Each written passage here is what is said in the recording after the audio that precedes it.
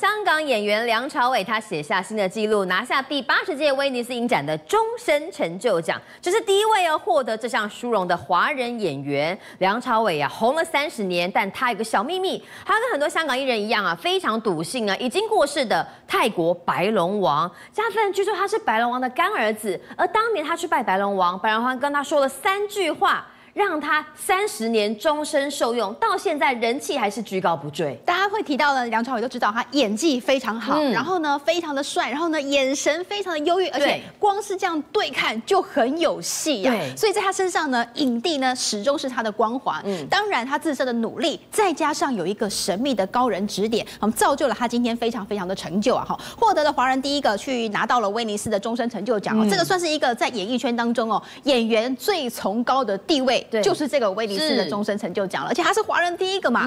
那么大家就去问他说呢，你有没有一个就是呃师傅啊、老师啊，哈，给你从旁指点？他说有，而且这个人还是他的干爹，也就是呢在泰国的这个白龙王哦。据说白龙王给他了三句话，而这三句话呢，他终身受用。这三句话呢，大家看完之后会觉得说呢，好像嗯啊有讲跟没讲一样。他到底讲哪？他说我们讲一下，笑容多一点，要微笑。对。话说的慢一点，要清楚；脾气好一点，要人和。看起来好像是呢，好你你家的隔壁邻居或是你的好朋友也会这样跟你说。妈妈也常会这样讲啊，也会这样提点你，你要听进去啊。对，所以就是做到非常难。对，所以梁朝伟呢就是做到了，所以有今天这样的师傅一路提点他之后呢，有了今天的成就。而梁朝伟说他为什么会这么笃信白龙王，其实是有原因的。有一次他去拜见白龙王，白龙王给他指示，他跟梁朝伟说，如果你要拍。跳楼的戏千万不要亲自上阵。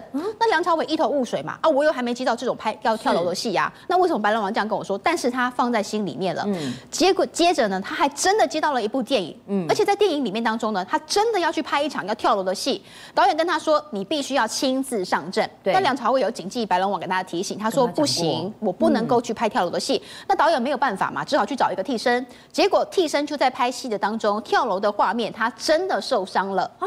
还好是找替身哎，是，所以梁朝伟呢就非常非常的笃信这个白龙王。从此之后呢，有遇到困难，有要抉择的，要不要拍这部戏，都会先去请教他的师傅，也是他的干爹白龙王。那么呢，自己信了之后，当然嘛，旁边的老婆啊、爱屋及乌爱人呢，也会想要把他带去给白龙王指点嘛。结果就带着刘嘉玲要去见白龙王啊，请白龙王呢也给他加持。结果啊，据说有一次梁朝伟跟刘嘉玲呢哈一起要进到了白龙王的这个呃寺庙门口的时候呢，旁边的工作人员。就跟他说了，这个白龙王只是带他旁边男生进来。女生不能进来，嗯，那就很奇怪让刘嘉玲进去哦。是，所以刘嘉玲她就一个人在门外，梁朝伟进去了。那么之后，梁朝伟其实陆陆续续啊，我带了他四次要去见白龙王，但是四次呢，白龙王都是拒见的。嗯，据说呢，白龙王是觉得说呢，刘嘉玲本身啊比较有一点倔性啦，哈，个性比较个性的确是这样子，比较强势一点，是，所以白龙王觉得说呢，我跟你讲什么，你也不见得听得进去。哦，如果我跟你讲这三句话，可能刘嘉玲都比较不容易听进去。是啊，够显卡酷狗啦，所以他他就。拒绝去接见这个刘嘉玲，然后据说呢，刘嘉玲之后也不愿意陪梁朝伟哈去见这个白龙王了。好，白龙王哦，他的这个神机哦。基本上是香港演艺圈的共识啦，不只是梁朝伟哦，拜他当干爹哦。我回想一下哦，呃，基本上香港爆红的艺人几乎都有去拜过白龙王，他到底厉害在哪边？而且非常奇怪的是哦，大家提到白龙王哦，是在比如说香港啦，比如说这个呃新加坡啦，或者是马来西亚，都是东南亚，对，还有台湾，对，但是在泰国。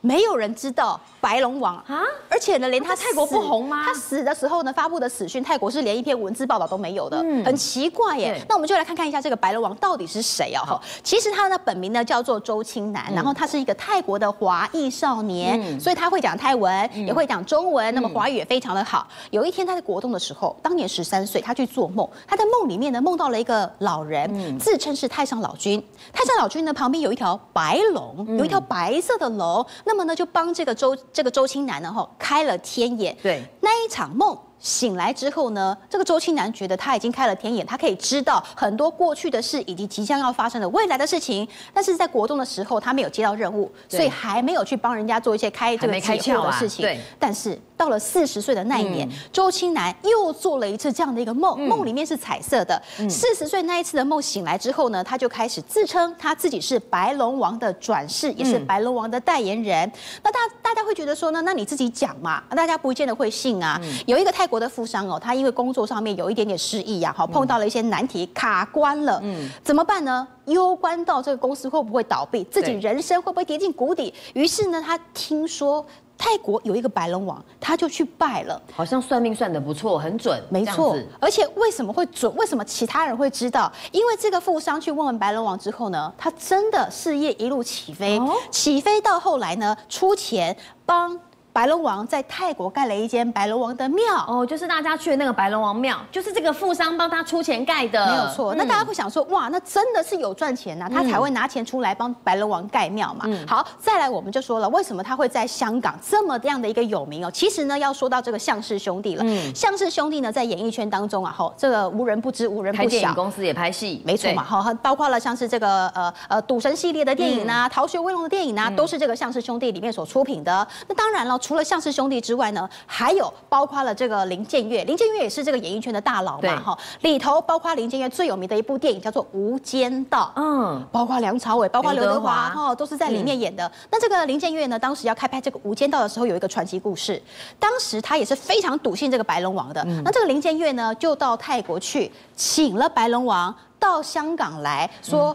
白龙王师傅，我们现在有一部电影要开拍了。当时的电影的名字呢叫做这个呃这个无间使者。对，白龙王一看不行啊，这四个字听起来呢就不太吉利，要改成无间道才可以。道是，所以这个无间道的名字呢是白龙王改过的。爆红啊！对啊，然后呢包括开镜地点，对，还有良辰吉时在哪里开镜等等的，都听从了白龙王的指示之后呢，哇不得了了！无间道呢一上市之后呢，不只是口碑好，票房也好啊，哈，一直到现在都还是林建岳的电影公司当中呢最。卖座的一部电影，香港电影当中的经典之作啦，是没有错。那么呢，在香港爆红之后呢，其实有很多很多的，不只是艺人哦，还有包括了信众啊，一般的老百姓呢，也会想要去拜白龙王。但是哦，要拜白龙王，其实有很多的关卡的，它是有分层级的，有第一级到第五级哦。因为要见白龙王的信众实在是太多了，所以每一个人要来的见的话呢，可能时间会不够用，所以它有分成五级。那我们先从第五级开始看，这可能是恐。可能是依照这个虔诚的程度啦，哈，因为人真的太多。第五集呢，是有白龙王的弟子去发一些呃可以赐福给你的呃这个甜点啦，或者是水果。嗯。第四集呢，是用叶子沾圣水，然后呢去洒在信徒的头上，感觉像是帮他可以驱驱走一些霉气。对。第三集可以见到白龙王，就见到本人了。对，他会在自己的手臂上面滴蜡，然后让信徒去用手刮下来。嗯。当然，一般人外人不知道这个仪式能够做什么，但是据说呢，就是帮信徒能够去除一些霉。气招来一些好运。那么第二集呢，会用朱砂。然后呢，盖在头上，再用这个蜡烛啊，哈，白龙王呢会在蜡烛上面绕圈圈，也是一样啦，在头上绕圈圈，对，帮他做赐福。那么第一集最高级的，这也是我们常常会在一些照片上面看到的，对，很多艺人对对对。做的这个仪式。是没有错，就是白龙王呢会用一些上香啦等等的，然后呢艺人呢就会这个呃扣扣响头，嗯，接着白龙王呢就会用手哈这个按在这个艺人的头上，看画面就像这样的，对，用蜡烛绕圈绕圈圈，然后嘴巴熄灭，是，然后呢感觉吹一个。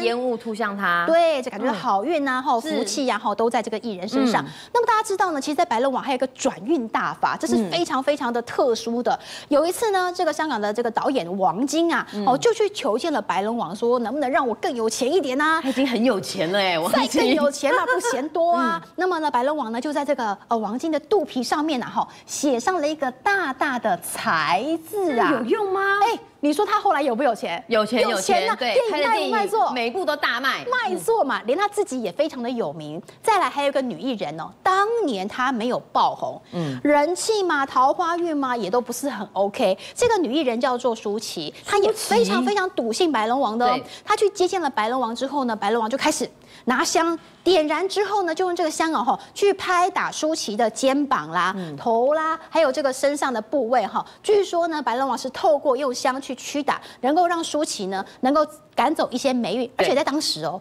舒淇说我的桃花运都不好，嗯，然后我也没有观众缘。那这个白龙王呢这样驱打之后呢，就把他的这些霉运啊、和衰运都打走，有了人缘，有了桃花运，才会有什么？才会有观众缘嘛，你的作品才会有人看呐。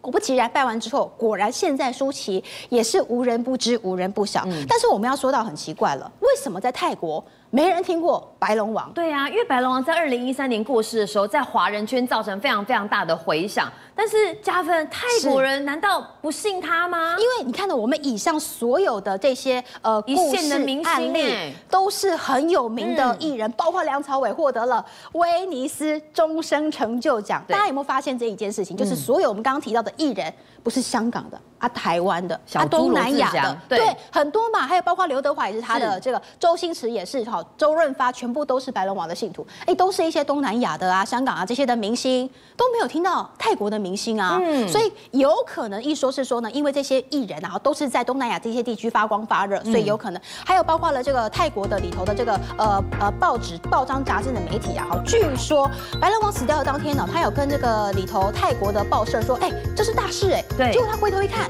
没有人认为这是一件大事，没有人要报道这件事情。台湾做很大，大家根本不知道白龙王是谁，所以在泰国啊，哈，大家会觉得说这是一个默默无名，根本没有人知道的神。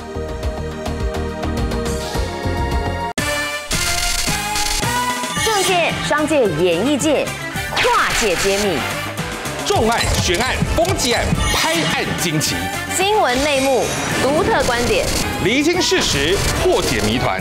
我是陈明君，我是李佳明，敬请锁定五七新闻网，真相不漏网。